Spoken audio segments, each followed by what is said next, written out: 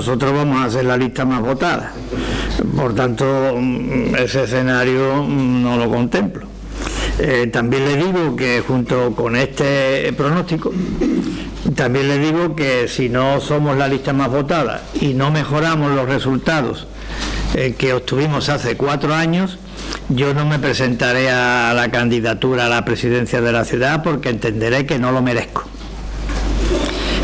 También le he dicho que nosotros no vamos a pactar con Vox, y lo vuelvo a repetir, porque no es bueno para Ceuta.